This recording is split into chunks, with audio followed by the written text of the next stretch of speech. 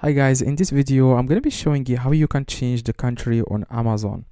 Now if you want to ship a product to another country, maybe you want to send it to someone or maybe you want you you are in a different country and you want to change the country as you can see for me it's set to United United, United States.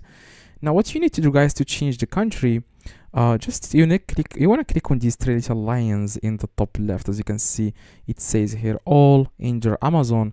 You can see here these these three little lines. Click on that and you want to scroll down. Okay at the very bottom it says here help and settings. You want to click on where it says united states. Now next okay after you uh, click on states it says here select your preferred country regional website.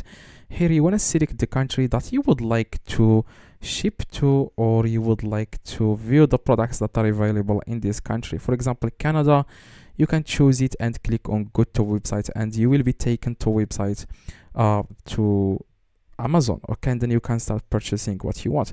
Now another way guys to change the country which is an easier way is to just scroll down okay after you go to amazon just scroll down at the very bottom. You can see here united states and you can see here the the, the currency. Now you want to click on United States and it will take you to the same to the same page. You just need to select here the country and then click again on go to website.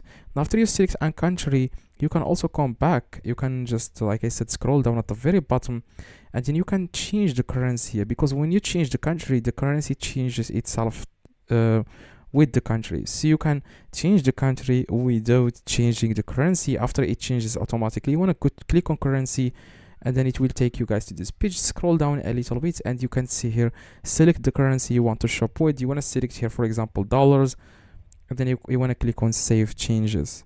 So if this video guys helped you please drop a like and subscribe. Let me know in the comments if this works. See you guys next video. I reply to every single comment. Just let me know in the comments. See you guys in the next video